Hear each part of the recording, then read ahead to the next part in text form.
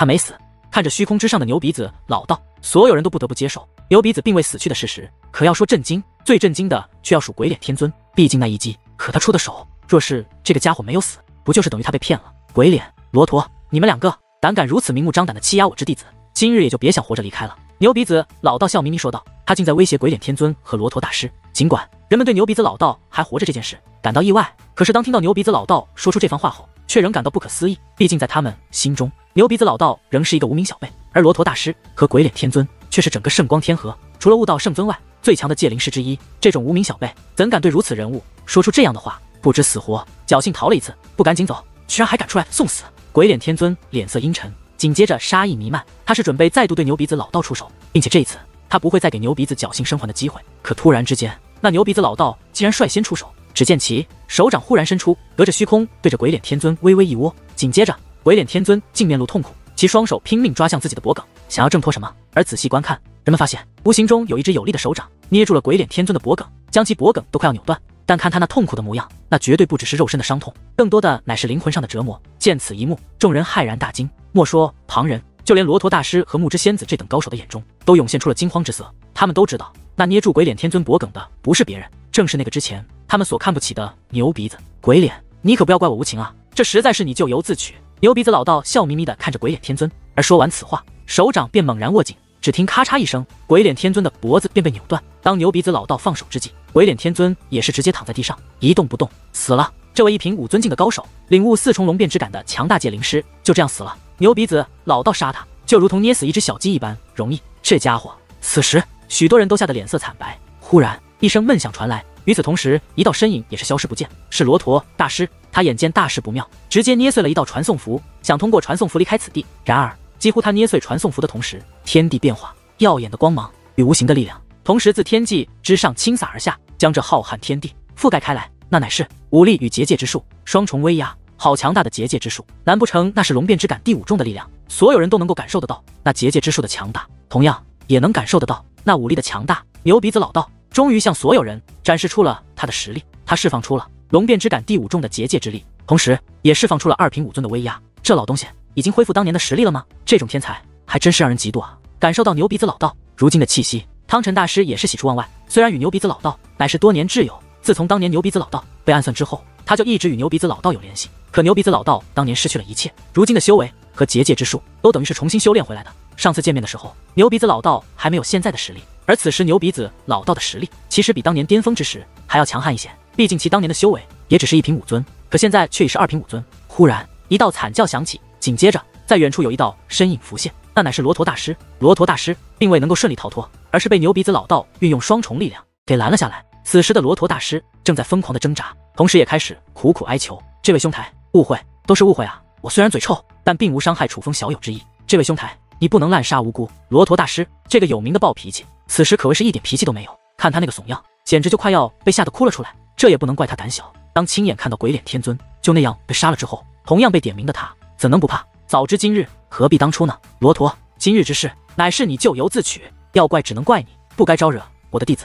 牛鼻子老道此话说完，一掌轰下，紧接着空间颤动，随后巨大的手掌便从天而降。那手掌所蕴含的力量，比二品武尊的威压还要强。那是一种武技，这武技落下的速度并不快，可是罗陀大师。却不闪不躲，并非他不想躲，而是此时的他已经被牛鼻子老道的威压所束缚。饶过我吧，我将我的宝物全都给你。罗陀大师此刻哀求之际，那声音都是带着哭腔的。可牛鼻子老道却不为所动。只见那巨大的手掌从天而降，来到罗陀大师面前，将罗陀大师的身影对比的如同蚂蚁一般渺小，就好像一座巨大的山峰即将落在他的身上。大地颤动，裂痕蔓延。当一座深不见底的巨坑浮现在众人眼前之时，那罗陀大师的身影也是彻底消散。但是罗陀大师的乾坤袋。以及身上的其他至宝，却都在深坑的最低处。毫无疑问，罗陀大师已经死了，只不过他比鬼脸天尊死的要惨。鬼脸天尊好歹还留了一具全尸，可这罗陀大师却是灰飞烟灭。看着那浓烟滚滚的巨坑，许多人都忍不住倒吸一口凉气。刚刚那从天而降的巨掌，众人依旧历历在目。那等气势，那等威力，那等力量，让人们意识到，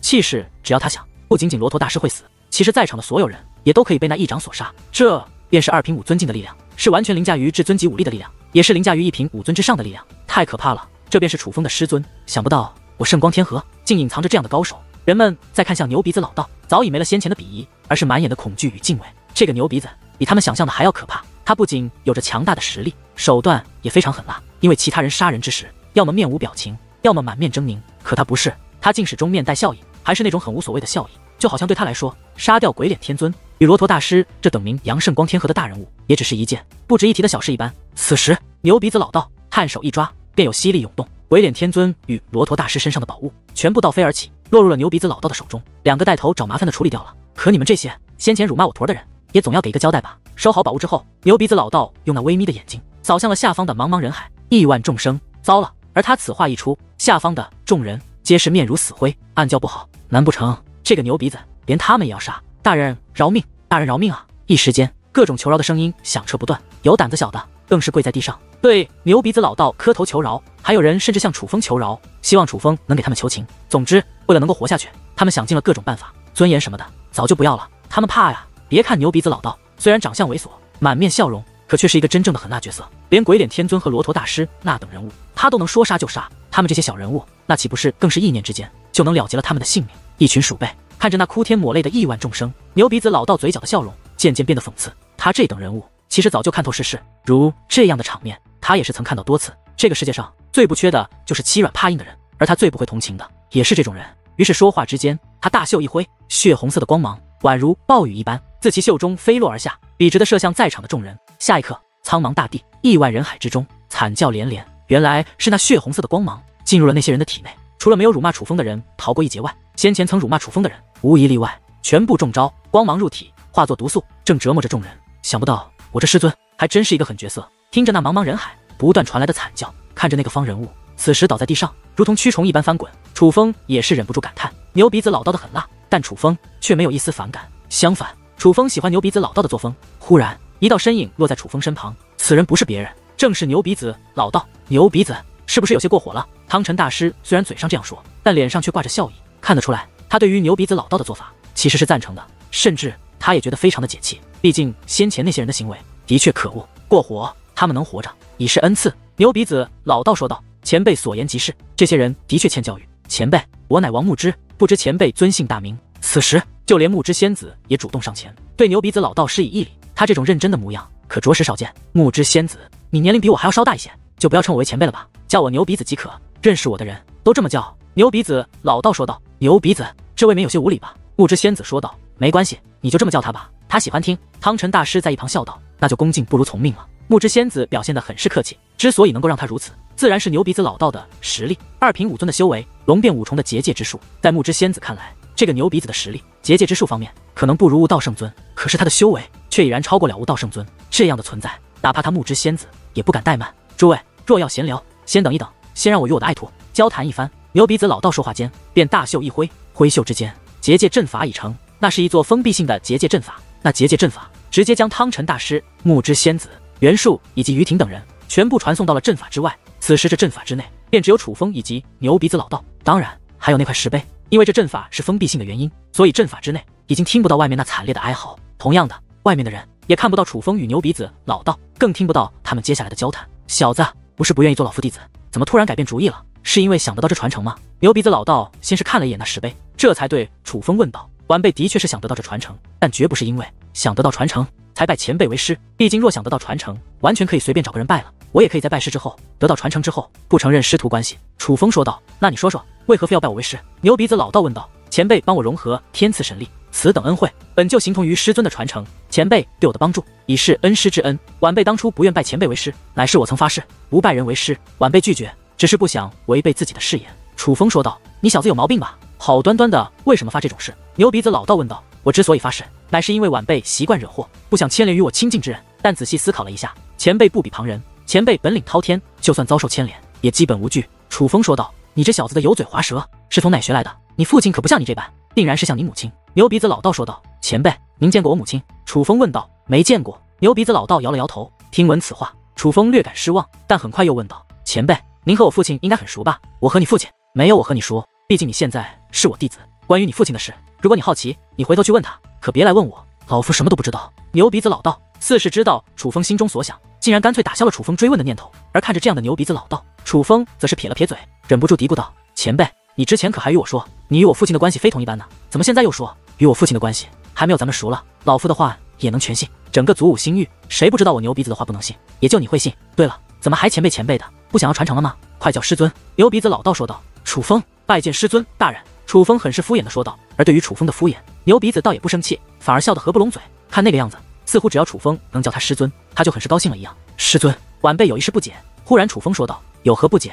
直接问。咱们师徒二人，无需拐弯抹角。牛鼻子老道说道。师尊，您既然展露实力了，为何还要继续伪装下去？不直接展露真身呢？楚风问道。他之所以这么说，乃是他发现牛鼻子依旧以牛鼻子自居，哪怕面对木之仙子，也没有暴露他乃是诸葛元空的身份。这说明暂时的他还是想以牛鼻子老道的身份，在这圣光天河内行走。至少暂时，他不想暴露他是诸葛元空这件事。可看如今牛鼻子老道的实力，已经不弱于悟道圣尊。这个时候，他本不该如此，反而该展露真身，然后揭开当年真相，再找悟道圣尊复仇才对。你以为你师尊我不想展露真身，然后将当年之事公布于众？只是还不到时候啊！若不是你这小子被那些人欺凌，为师我实在做不到，不能袖手旁观。又有着传承逼着，为师我也不会选择在今日现身。牛鼻子老道感慨道：“还没到时候。”师尊此言何意？楚风问道：“我若没有推算错，悟道圣尊如今应该已是领悟了龙变第六重了，而我还只是龙变第五重，距离第六重还有一些路要走。”牛鼻子老道说道：“他已是龙变第六重吗？”听闻此话，楚风便明白了一切，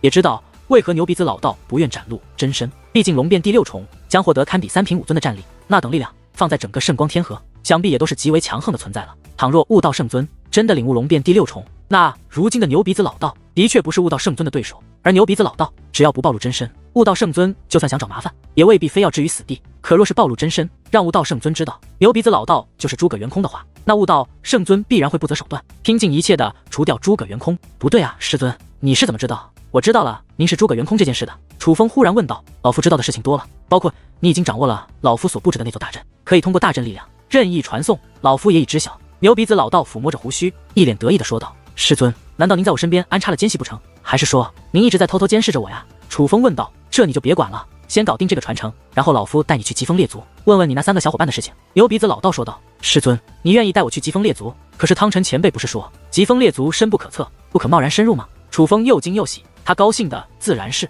有人可以带他进入疾风列族，去寻求颜如玉三人的秘密。但却也有些担心，毕竟汤臣大师说过，疾风列族很是危险，危险是危险，但弟子的事，师尊岂能不管？不过你放心，进入疾风列族，你师尊我还是有把握的。废话别说了，先搞定这传承再说。牛鼻子老道说话之间，便来到了那石碑之前，手掌刚刚触碰到那石碑，顿时光芒流转，那石碑内的力量就好像是找到了出口一般，顺着牛鼻子老道的手掌融入了他的体内。很快，石碑上的光芒彻底消散，那神圣的气息也随之消失，那石头看上去彻彻底底成为了一块没用的石头。紧接着，石头碎裂，竟化作尘埃，飘散而去。可此处明明已被阵法封锁，没有一丝锋利。楚风知道，那远古灵域的传承已被牛鼻子老道所得，只是这传承得到的方式比楚风预想的可要顺利得多。所以楚风也是非常的高兴。师尊，这传承如何？楚风兴高采烈地问道。可牛鼻子老道却并未回应。仔细观察才发现，牛鼻子老道此时周身光芒流转，看上去极为神圣，但整个人却如同石化了一般，一动不动，就连眼睛都是不眨一下。见此情形，楚风也是不再去打扰。楚风觉得牛鼻子老道此时的精神意识很可能已经投射到了其他地方，也许牛鼻子老道已经见到了这远古灵域的主人，也就是那古老声音的主人。现在的他们应该正在进行着某种交谈。这种时候，楚风说什么，牛鼻子老道都是听不见的。楚风能做的便只有耐心等待。这种情况保持了足足一个时辰的时间。一个时辰之后，牛鼻子老道身上的光芒进入体内，而他也终于醒来。嘿嘿，我的好徒弟，这传承可真不简单，这是捡到天大的宝贝了。师尊托你的福哥。牛鼻子老道醒来后笑得合不拢嘴。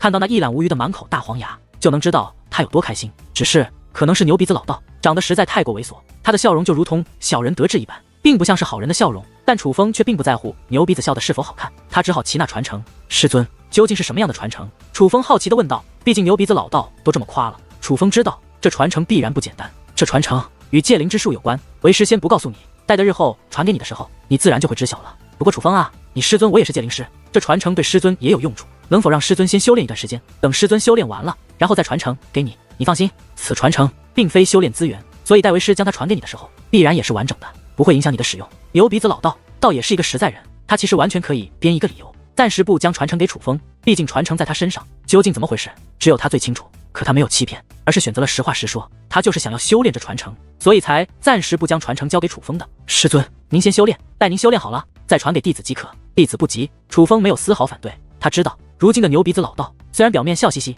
可在他内心之中却背负着仇恨。牛鼻子老道需要复仇，最好的复仇方式，并非比拼武力，而是以借灵之术彻底击溃那悟道圣尊。既然这传承对牛鼻子老道有用，楚风自然不会吝啬。事实上，若是可以选择，楚风自己也会选择先让牛鼻子来修炼这传承。真是我的好徒弟，师尊也算是托你的福了。见楚风同意，牛鼻子老道更加开心了。师尊，那您刚刚可见到此处的前辈了？楚风问道。其实对于这传承，楚风已不是特别好奇，因为楚风相信牛鼻子，他知道牛鼻子迟早会将这传承传给自己。无论传承究竟是什么，到时候自然知晓。不过楚风却很好奇，那古老声音的主人究竟是何方神圣？他必然是实力极强之辈。如他这样的强者，为何要待在此处？又为何要将此地传承传给他人？那是一位大人物，我也没有见到真身。至于他是谁，自然就不得而知了。我的乖徒弟，为师知道你好奇。不过既然这位大人不想说，咱们师徒也是没有办法。修武界太大了。隐藏的高手也很多，他们的想法也各不相同。有的布置遗迹，乃是为了传承自己的手段，不想自己的手段失传；有的则是干脆彰显自己的本事，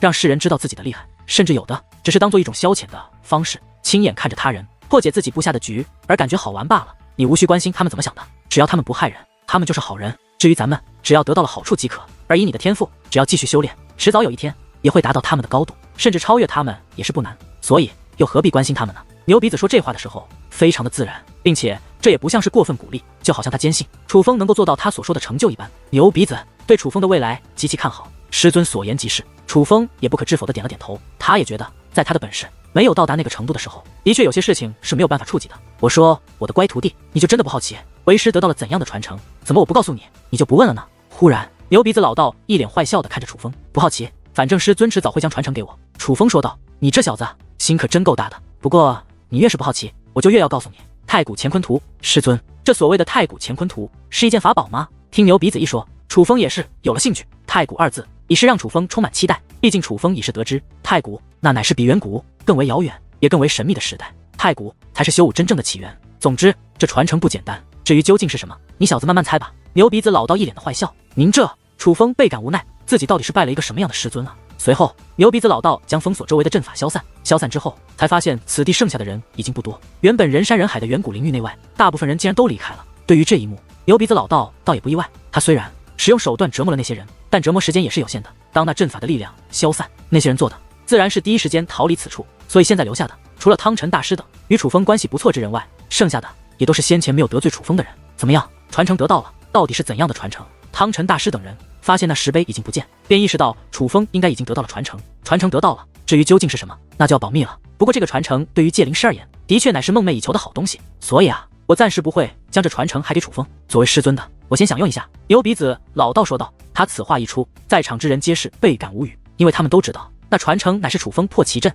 而后击败吕戒才得来的。这传承本就属楚风，可楚风这个师尊居然自己留下了，也未免太过分了一些。但是看看楚风，竟没有丝毫怨念，反而面带淡淡笑意。人们便知道楚风并没有意见，而连楚风自己都没有意见，旁人自然也就不好说什么。当然了，先前牛鼻子的狠辣，大家都是见识过了，他们就算有意见，也是不敢说啊。可人们不知道的是，在他们敢怒不敢言的时候，这一幕却也刚好被另外三道身影看见。天际之上立着三人，只是他们立在此处，却没有人何人察觉。而这三位分别是伏魔少羽、伏魔仙儿，以及之前假扮二人奶奶的姑苏大人。这个牛鼻子怎么这么欺负人？少主，要不要我去教训一下他？伏魔仙儿说道。教训什么啊？你没看楚风与他谈笑风生，人家楚风自己都愿意，说明他们之间的关系非同一般。他乃是楚风信任之人。伏魔少羽说道：“是仙儿糊涂了。”伏魔仙儿说道：“你这丫头不是糊涂了，而是被爱情冲昏头脑了。只要看到有人占楚风便宜，无论那个人是谁，你都看不过去。”伏魔少羽说道：“少主大人，仙儿没有。”听闻此话，伏魔仙儿吓得脸色惨白，哈哈，我就是开个玩笑，瞧把你吓的。伏魔少羽哈哈笑道：“少主，您就别拿仙儿开玩笑了。”伏魔仙儿说道：“好了好了，不逗你了。”伏魔少羽笑嘻嘻的说道。少主，您来这里不就是为了找楚风的吗？为何我们迟迟不现身？伏魔仙儿问道。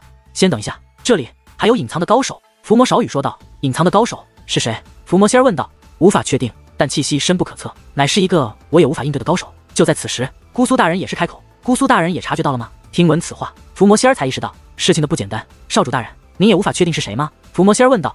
只能断断续续的察觉到一丝气息，但的确无法确定是谁。但此人一直留在此地，必然有所目的。再观察一下吧。他的气息隐藏的不彻底，必然是身上有何缘由导致，要不了多久，他必然会暴露。伏魔少羽说道。听到这里，伏魔仙儿也不再多问，而是谨慎的打量着下方的所有人，同时也在打量着周围没人的地方，想看看是不是有高手隐藏在这里。因为他知道，连伏魔少羽和姑苏大人都无法确定的高手，定然是非常厉害的存在。在这种地方，出现这样的高手，对他们来说必然没有影响。可对于楚风这些人而言，可就是福祸未知了。忽然之间，又有一道身影飞落而下，落到了楚风的身前。看到这个人，所有人都是目光一动，因为这位乃是如意老人。如意老人乃是一个相对冷漠的人，他几乎对圣光天河任何事都不关心，对任何人也不关心，一直独来独往。虽然名声赫赫，但几乎没有什么朋友。但今日他对楚风所表现出的兴趣，大家却都看得清楚。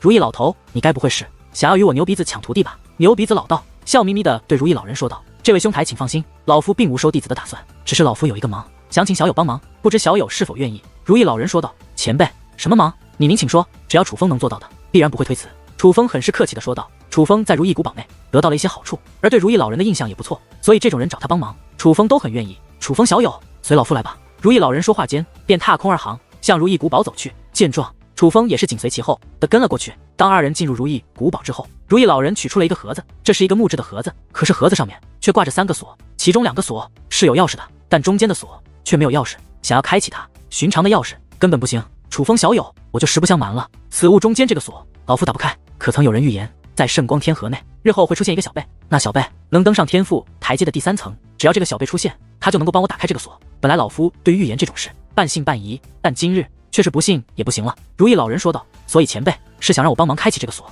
楚风问道：“正是。”如意老人不可置否的点了点头。晚辈不敢保证一定能够打开，但晚辈会尽力而为。楚风说做就做，在开始之前，他就已经观察了那个锁。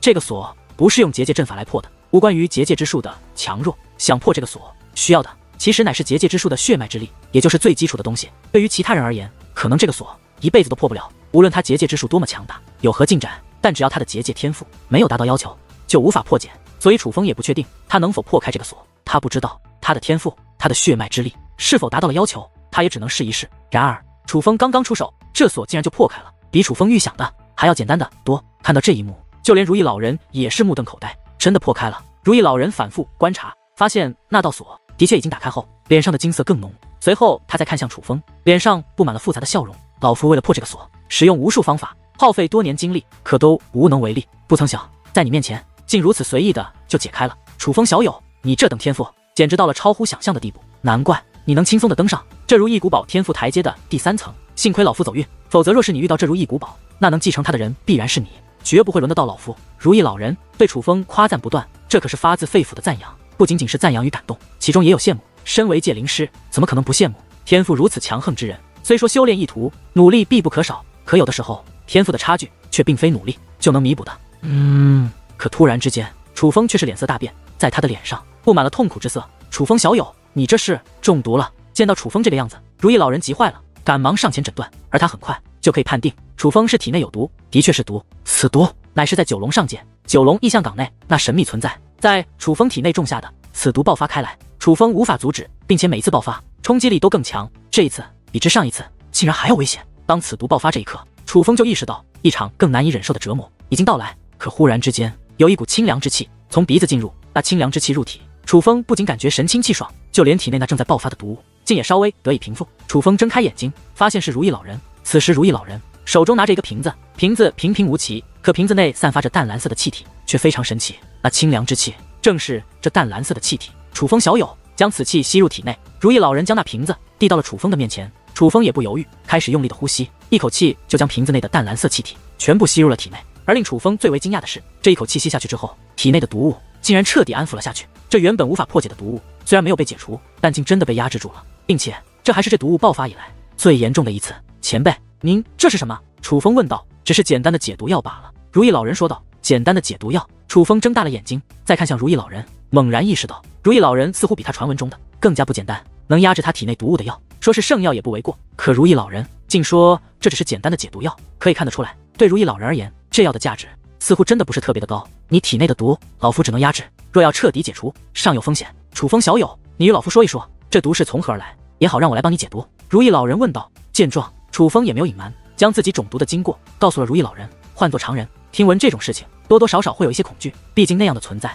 藏在地底深处，是谁都会毛骨悚然。可如意老人莫说没有恐惧。在其眼中，竟然连一丝惊容都没有涌现。他表现得非常平静，就如同听到了一件特别寻常的事情一般。是祖武星域的九龙上界一处名为九龙异象港的地方，对吗？如意老人问道。是的，前辈。楚风说道。好。如意老人点了点头，随后他拿出了一张卷轴，卷轴打开，那图内竟是无尽星辰，但那图内的星辰皆是栩栩如生，就宛如那图内真的蕴含着一座无尽星空。而如意老人先是观察一番之后，便用手指对着其中一块星域一画，紧接着那被圈起来的星域之内，所有星辰不仅光芒明亮，上面竟然还显现出了名字：九龙上界、大千上界等诸多楚风熟悉的名字，分别浮现而出，分别刻在不同的星辰上面。此时楚风恍然大悟，原来如意老人所圈起来的部分就是祖武星域，而此时如意老人已是将手指点在了九龙上界之上，这一点。整个图纸都发生变化，满天星辰消失不见，取而代之的乃是一个极为辽阔的世界地图，那是九龙上界的地图。很快，如意老人便找到了九龙异象港的位置。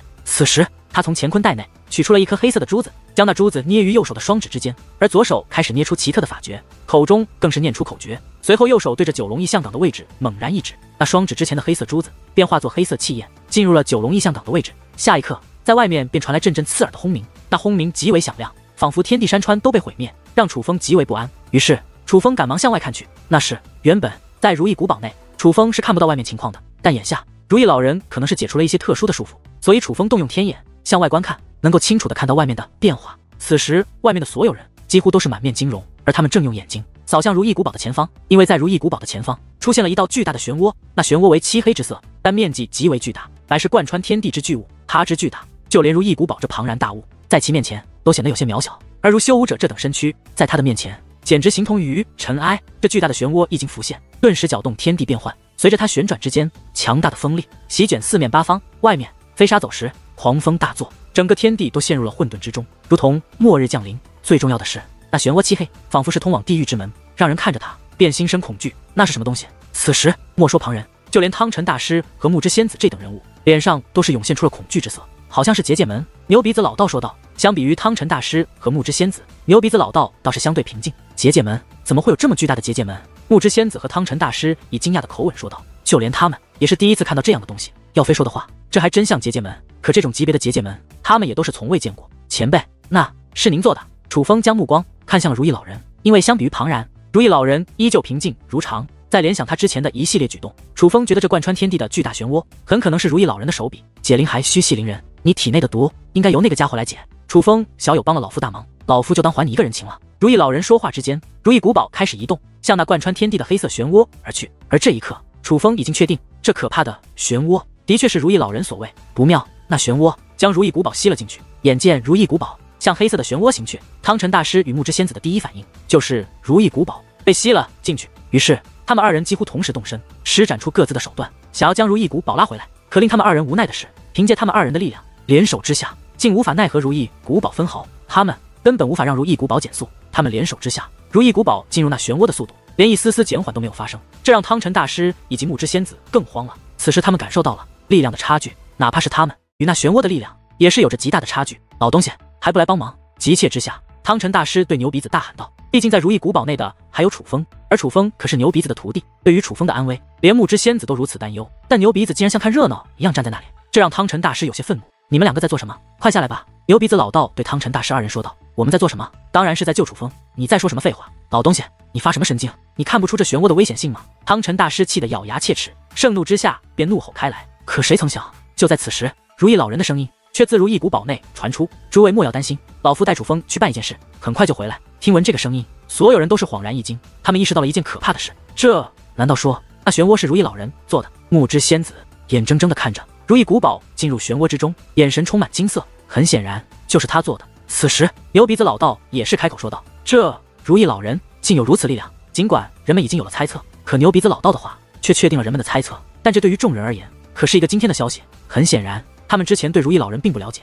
如意老人的实力已经强大到了一种难以形容的地步。这是一位。隐藏的高手，老东西，你早就知道那是如意老人那老东西做的。此时，汤臣大师飞掠而下，对牛鼻子老道问道：“当然，在场之中除了他，还有谁能做到？他可是如意古堡的传人。”牛鼻子老道说道：“你早就看出了如意老人那老东西隐藏了实力。”汤臣大师问道：“他从未隐藏，只是从未彻底展露罢了。”牛鼻子老道说道。汤臣大师恍然意识到，自己似乎对如意老人的了解太浅薄了。但这不怪他，不只是他，实际上整个圣光天河，除了牛鼻子老道外，几乎都没有人发现。这如意老人会是这样一个可怕的存在，在众人那震惊目光的注视下，如意古堡彻底消失在了那巨大的结界门内。看来那个隐藏的高手就是他了。伏魔仙儿说道：“不，不是他。”姑苏大人说道：“姑苏大人，不是那个老人。”伏魔仙儿有些意外：“的确不是，因为那个人的气息还在，说明他还留在此处，并未离开。”姑苏大人说道：“哇，那岂不是说，除了那如意老人外，还有高手？是远古灵域的主人吗？是那个把传承给了楚风的人？伏魔仙儿问道。我说仙儿，你怎么变得这么愚钝了？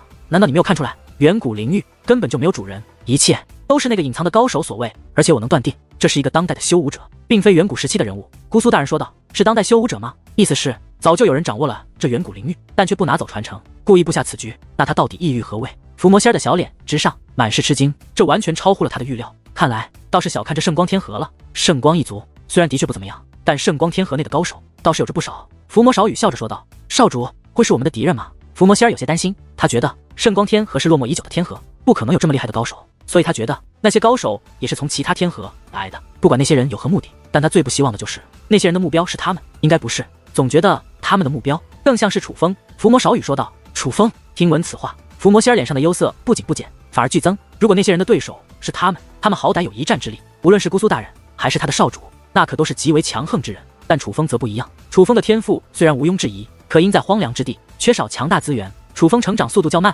如今的他，相较于整个浩瀚修武界的高手，还实在太弱。若是那个连姑苏大人都没有把握应对的人，是冲着楚风来的，那楚风可就真是危险了。少主，我们现在要怎么办？伏魔仙儿问道。先去找楚风吧。伏魔少羽说话间，便向那漩涡飞掠而去。见状，姑苏大人也是抓着伏魔仙儿，一同飞掠而去。那漩涡非常厉害，哪怕是伏魔仙儿的修为，自己也难以闯入，唯有姑苏大人帮他才行。穿过那巨大的结界门，如意古堡便来到了九龙异象港。再度来到九龙异象港。楚风感慨万分。当时来到九龙异象港的时候，楚风还是为了争夺祖武十星的排名。那个时候的他修为较弱，凭借自己的实力根本斗不过灵狐鸿飞，最后还是靠着羽沙出手。是羽沙与灵狐鸿飞战成平手，楚风才获得了与灵狐鸿飞齐名的机会，得到了祖武十星第一的称号。其实算一算，距离那个时候过去的时间并不是很久，但楚风却已是今非昔比。如今的楚风早已跳出祖武星域，现在小辈之中能够做他对手的，想必也唯有那些上星域内的小辈们了。毕竟就连吕健那个。被号称为圣光天河最强界灵师后辈的天才，也已经败在了楚风手中。到底想要我做什么？答案应该揭晓了。楚风此话说完，便飞掠而下，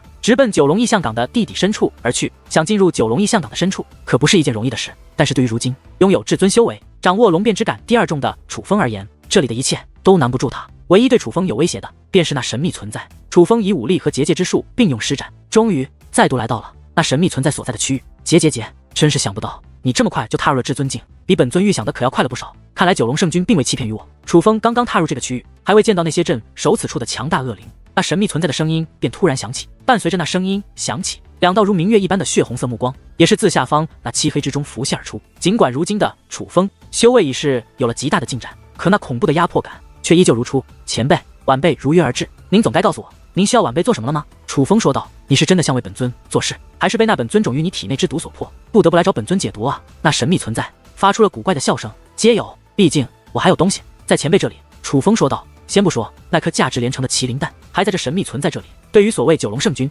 楚风也是较为好奇。此地似乎有着不同寻常的秘密，又或者说有着不同寻常的力量。否则为何这里不仅出现了这神秘的存在，还有那留下异象的九龙圣君，甚至就连界灵仙王也来到此处？而楚风如今身上那能够让自己的界灵之术战力提升足足一品的九龙圣袍，也是界灵仙王通过此地的九龙之气打造。所有线索都证明，这九龙上界的地底深处隐藏着强大的力量，那力量就是所谓的九龙之气。小鬼，你还真是有胆量啊！忽然，那神秘存在的声音再度响起，紧接着，那双血红色的眼睛便距离楚风越来越近。伴随着他的靠近，那压迫感也是越发强大，而楚风则是感觉自己越发渺小，只是一双眼睛就已经巨大无比。很快，那神秘存在彻底现身。楚风能够看清他的样子，那是一只长达十几万米的庞然巨物，它竟和如意古堡一般巨大。但如意古堡乃是假的，是人为打造，可这一位却是活生生的生物，并且那是一条龙，一条黑色的龙，黑色的龙鳞，血红的眼眸，凶神恶煞，极为可怕。不过它却并非是完整体，它更像是一道灵魂体。尽管栩栩如生，可那更像是灵魂，而并非肉身。可尽管如此，依旧无法掩盖它的强大。神兽龙，尽管楚风也算见多识广。可此时内心却也是掀起了滔天巨浪。一路走来，楚风见过许多如龙一般的生物，但那都是假的，最多是稍微有着一点点血脉的生物罢了。因为真正的龙乃是天地间最强的兽类，被称为神兽。可眼下出现在眼前的这位，却让楚风感受到了如神一样的压迫感。楚风猜测，这很可能是一只真正的龙。小鬼，本尊告诉你一件事吧，那颗蛋，本尊不会还给你，因为它价值连城，乃是传说中的吞天麒麟。眼前这条黑龙对楚风说道。他此话一出，楚风已是心中一凛。可谁曾想，他接下来的话。更是让楚风毛骨悚立。还有，你不该回来的，因为你是九龙圣君选中的人。九龙圣君选中你，并非让你来得到此处的力量，他是在帮我选，选一个可以承受我这灵魂的身躯。但修为不是关键，关键是要有天赋。唯有天赋足够的灵魂被我吞噬之后，才能与我相融，才能承受我的灵魂。所以你不该回来，但本尊还是要谢谢你。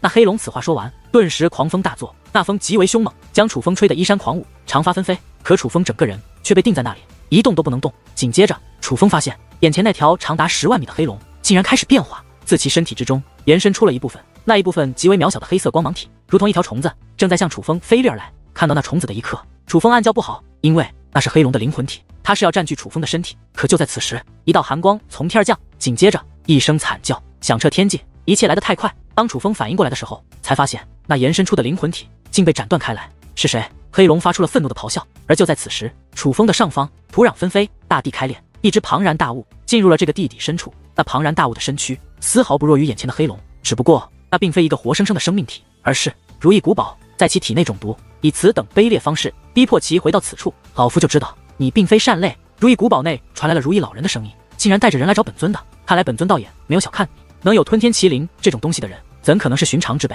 不过本尊想重见天日，还真的只能靠这小鬼了。今日就算天王老子也休想阻止本尊。猛然间，那黑龙大嘴一张，顿时凶猛的气焰铺天盖地，周围的一切都开始崩塌碎裂，空间陷入了混沌一片。可是。几乎在黑龙口中喷出气焰的那一刻，便有一道屏障拦在了楚风身前。那强大的气焰似乎能摧毁一切，可却被那无形的屏障给完全挡住。虽说气焰被挡住，可看着那如同无数道巨大镰刀在面前不断挥舞的样子，楚风也是吓得头皮发麻。那是一种完全超乎了自己境界的力量。虽然楚风也意识到那气焰不是冲着自己来的，而是冲着楚风身后的如意古堡，但楚风却也能感觉到那气焰中的锋利镰刀，随便一道都可以让自己飞灰烟灭。雕虫小技，挡得住吗？猛然间，那黑龙又发出了一声怒吼，紧接着。那无形的屏障竟出现了裂痕，那无形的屏障快要支撑不住了。可忽然之间，楚风便感觉自己的身体被一股吸力笼罩，紧接着整个人向后飞掠而去。当楚风反应过来时，楚风已是站在了如意古堡之内，而如意老人则是站立在如意古堡之中，周身光芒流转。那四式阵法，但却又不是寻常的阵法。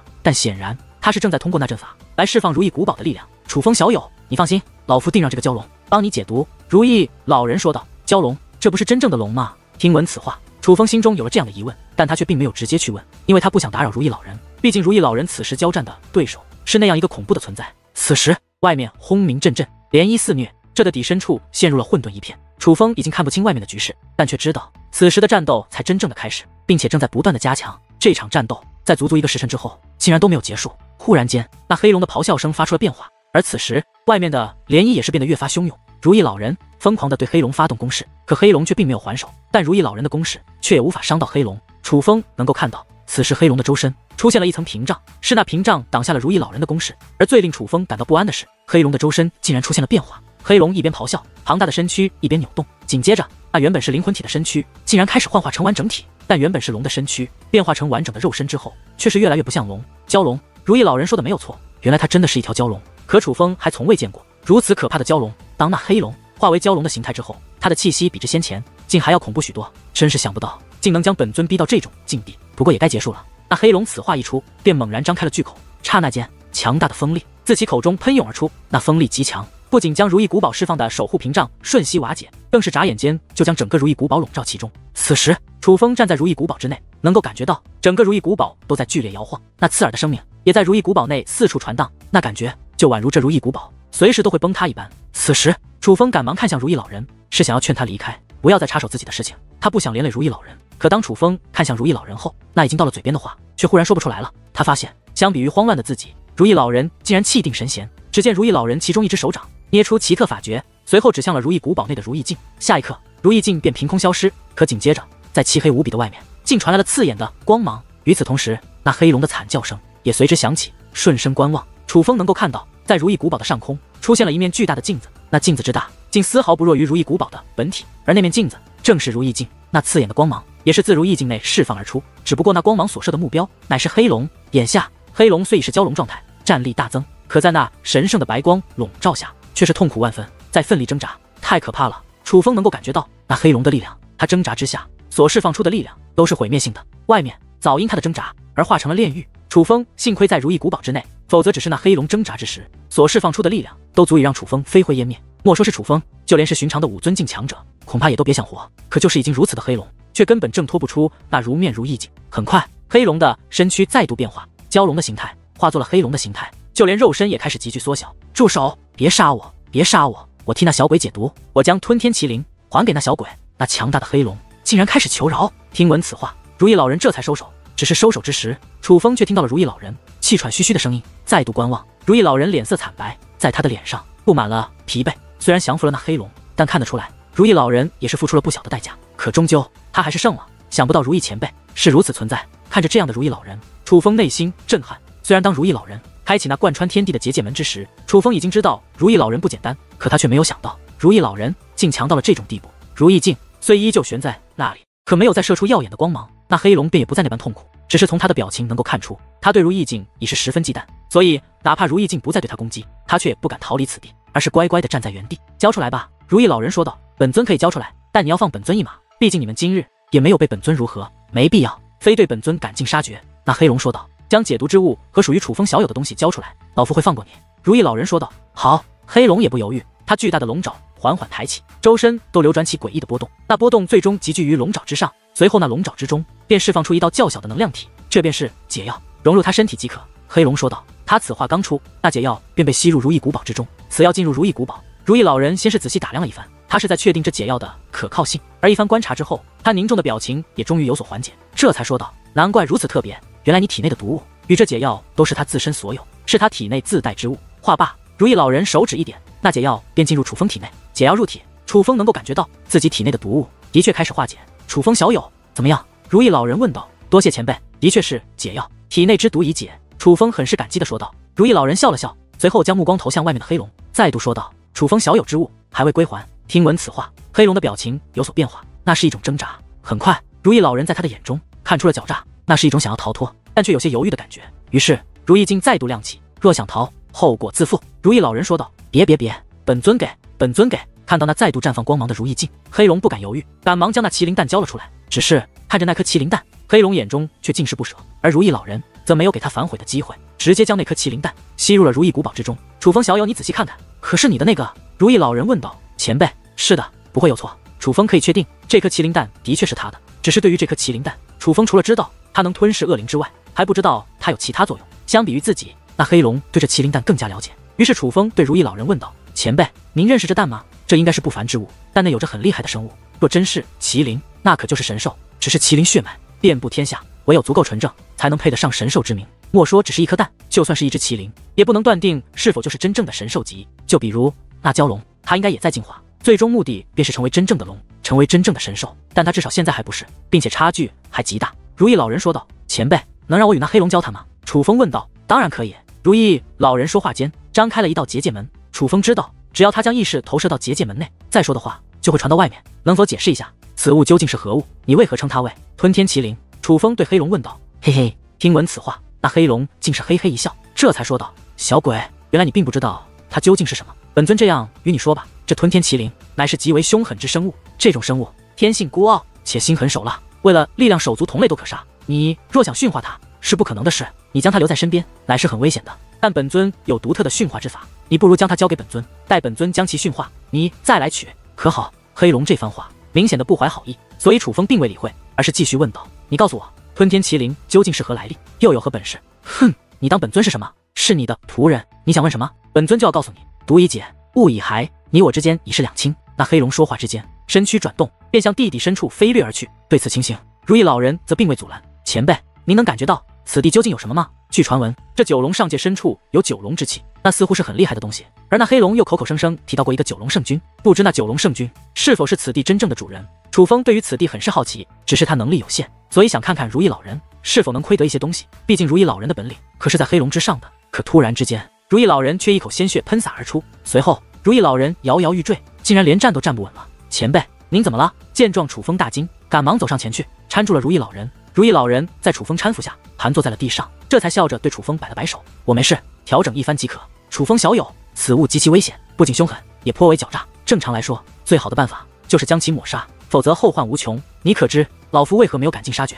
如意老人问道。为何？楚风问道。此物虽只是蛟，但力量极强，若非动用如意镜的力量，老夫根本无法镇压于他。但如意镜的力量消耗极大，若继续下去，恐怕还未将此物抹杀，老夫已是支撑不住。幸好此物先怕了，否则今日对决，败的就是咱们了。如意老人苦笑着说道。听闻此话，楚风才意识到黑龙似乎比他想象的还要强大。至于你说的九龙之气，老夫感受不到，也看不到。但此地的确不简单。那九龙圣君为何存在？老夫虽不知晓，不过这蛟龙已是如此。若此的当真，还有其他存在，那必然是老夫无法应对的存在。修武界深不可测，有些隐于地底或遗迹的高手，往往比统治世界表面的庞然大物还要可怕。所以楚风小友，以后莫要再来此地了。如意老人一脸凝重地对楚风提醒道：“多谢前辈提醒，晚辈知晓了。”楚风很是感激地说道：“他当然感激。进入，若不是如意老人跟着来，楚风的身躯就被那黑龙占据了。他只是帮了如意老人一个小忙，但如意老人却是自己的救命恩人，谢就不必了。要谢也是该老夫谢你。若不是你帮老夫解开那锁，老夫不知还要等上多久。如今终于可以离开此地，去我想去的地方了。”如意老人说这话的时候，向来冷漠的他脸上竟涌现出了一抹笑意，那抹笑容是发自内心的高兴。在楚风眼中，他对于如意老人。不过是举手之劳的小忙，但在如意老人来看，这却是一个极大的帮助。前辈，您要去哪里？楚风问道。浩瀚修武界如此之大，我都想去看一看，具体会停留哪处还不得而知。至于这第一站，必然就是圣光天河的邻居九魂天河了。以楚风小友的天赋，这圣光天河必然也是留不住的你。虽然浩瀚修武界无穷无尽，辽阔无边，但若真的有缘，日后也许还会相见。如意老人说道。随后，楚风与如意老人短暂的闲聊之后，便与楚风分别。分别之前，如意老人将楚风通过那传送门送了回去，而他并未在原路返回，而是直接乘着如意古堡离开了此地。想不到这如意老人竟如此厉害，连那等妖物都能对付。此时，九龙异象港之外，伏魔少羽三人站在虚空之上，而看着如意老人离开的方向，伏魔少羽也是感慨连连。少主，这九龙异象港内似乎藏着宝物，需要我下去探索一番吗？姑苏大人问道。那妖物已是很不简单，我们就算联手，也只能勉强胜他。可若这的底深处还藏着其他高手，那我们可就不敌了。虽然。我对这里面究竟藏着什么也很好奇，但还是算了，毕竟这里不是我们的领地。伏魔少羽说道：“少主乃仙海一族族长继承人，他们敢对少主不利不成？”伏魔仙儿说道：“原来伏魔的姓氏乃是他们编造的，他们真正的身份皆是仙海鱼族。少羽真名为仙海少羽，仙儿真名为仙海仙儿，姑苏大人则名为仙海姑苏。而伏魔仙儿能有着如此自信，乃是因为仙海鱼族实力强大，不仅是一方天河霸主，在整个浩瀚修武界都是名声赫赫。莫说圣光一族无法比拟。”就算是九魂天河的统治者，与仙海鱼族都是相差甚远。仙儿，真正的凶恶之徒是不会顾忌你是何身份的。况且行走在这修武界，我们要依仗的也是自己的本领，而并非是家族的名声。仙海少羽说道。仙儿知错。仙海仙儿说道。少主，那我们回去找楚风吗？姑苏大人看着呢，即将关闭的结界门说道。留在此处也没有意义，回去吧。仙海少羽此话说完，他们三人便飞入了那道结界门。而此时，楚风早就先一步从那结界门回到了牛鼻子老道、汤臣大师以及众位界灵师所在的远古灵域。在看到楚风的第一刻，汤臣大师等人便询问起关于如意老人之事。因为与如意老人告别之前，楚风就曾询问过关于他的事情，能否与众人说？毕竟楚风知道，当他再见到众人，众人必然会询问如意老人的事，而如意老人则是告知楚风无需隐瞒。所以楚风倒也没有隐瞒，而是将如意老人已经离开之事告知了众人。至于如意老人的实力，楚风也不知究竟在何层次，所以也没有描述。但其实不用楚风讲太多，众人只是通过那巨大的结界门就能推算出如意老人是一个极为强大的存在。可唯有楚风知道，那结界门根本不能彰显如意老人的强大。若是大家都能看到如意老人与那黑龙的一战，才会真正的体会到如意老人是何等存在。当然了，关于黑龙的事，楚风并没有当众说出来。这件事，楚风只是与汤臣大师还有牛鼻子老道私下讲述了。此事就此结束。楚风等人也是再度启程，他们所前往的地方乃是轮回上界。毕竟楚风想搞清楚亚飞、颜如玉、慕容婉三人的身上究竟发生了什么。而在途中，楚风也终于问出了他最想问的事情：“师尊，您可知道要怎么样才能进入卧龙武宗？”楚风问道。卧龙武宗如今紫菱遇难之地，楚风急着见牛鼻子老道，为的就是想要得知进入卧龙武宗的方法。眼下虽然要解决颜如玉三人的事情，但楚风最想做的，实际上乃是将紫菱解救而出。小鬼，你都有我这个师尊了。还想拜入卧龙武宗门下？牛鼻子老道皱着眉头，撇着大嘴说道：“不是的，师尊，乃是另有原因。”楚风说道：“是何原因？”牛鼻子老道问道。见状，楚风看了于婷一眼，见于婷点头同意后，楚风便将事情的经过全部告诉了牛鼻子老道。真是人不可貌相，你这小子如此顽劣，居然还有这么优秀的姑娘对你如此痴情啊！小子，可以啊！你得知经过，牛鼻子老道竟哈哈大笑起来。师尊，紫菱对我极其重要，我不能见死不救，请师尊告诉我，可有进入卧龙武宗的方法？楚风则是一脸凝重的追问道。见楚风如此，牛鼻子老道则仍是哈哈一笑，随后说了一个字：“有。”牛鼻子老道说出这个字后，无论是楚风还是于婷，皆是大喜。解救紫菱是一件非常难的事，但现在他们终于见到了解救紫菱的希望，怎能不喜？师尊是何方法？楚风追问道。别高兴的太早，方法倒是有，但是想通过这个方法进入卧龙武宗，可是一件非常难的事情，甚至可以说，哪怕是你也未必做得到。牛鼻子老道对楚风说道。听闻此话，楚风意识到事情的不简单，但还是追问道：“师尊，到底是怎样的方法？”楚风不可能放弃紫菱，只要还有一线生机，楚风都会紧紧的把握住，哪怕是刀山火海，楚风都在所不惜。甚至就算是无尽地狱，楚风也会闯上一遭。卧龙武宗建立之初是允许天才后辈自己拜入宗门的，所以设立了一座传送大阵。只不过卧龙武宗对弟子的要求实在太过苛刻，从始至终都没有人能够通过考验，所以那卧龙武宗的传送大阵渐渐的便被遗弃。后来卧龙武宗便开始选用长老出宗，亲自挑选优质弟子的方式带回卧龙武宗进行培养。但那座传送大阵的还在，它的作用也还在。所以，只要你们两个小鬼能够通过那传送大阵的考验，就能够进入卧龙武宗之中，并且正式成为卧龙武宗的弟子。只是不是老夫泼你们冷水，想用这个方法进入卧龙武宗，几乎是不可能的事情，太难了。那个要求的确是太过苛刻。牛鼻子老道摇头感叹道：“师尊，您可知道那传送大阵在哪里？”楚风并未放弃，而是继续追问道：“他已经做好了心理准备，就算九死一生，他也要一试。当然知道，只是楚风，现在的你还不行。”牛鼻子老道说道：“为何？”楚风问道：“那传送阵法是有要求的。”第一条必须是百岁以内的小辈，但这个条件并不苛刻。可这个条件结合后面的要求，才是真正的嗨嗨，是必须拥有四品至尊修为的小辈，才有资格进入传送大阵接受挑战。牛鼻子老道说道：“四品至尊，那岂不是说？”听闻这句话，楚风顿时眉头紧皱，心如死灰。他迫切的想要救出紫菱，可他现在的修为却只是一品至尊，距离四品至尊还有三重境界的差距。而修为这种东西，也不是他想突破就一定能突破的，需要收集修炼资源，需要顿悟修武之道。就算他楚风天赋较好。可想要在短时间之内就得到四品至尊，那也是难比登天。然而就在楚风因短时间之内不能进入卧龙武宗而担心紫菱之际，牛鼻子老道接下来的话却让楚风更加绝望。记住，四品至尊只是有资格挑战，但据说若想成功通过，需要九品至尊才行。牛鼻子老道补充道：“九品至尊。”听闻此话，楚风没有说话，但是于婷整个人都傻了。九品至尊是何等存在？那是只差一步就可以踏入武尊的境界。一个百岁以内的小辈，怎么可能达到这种天才？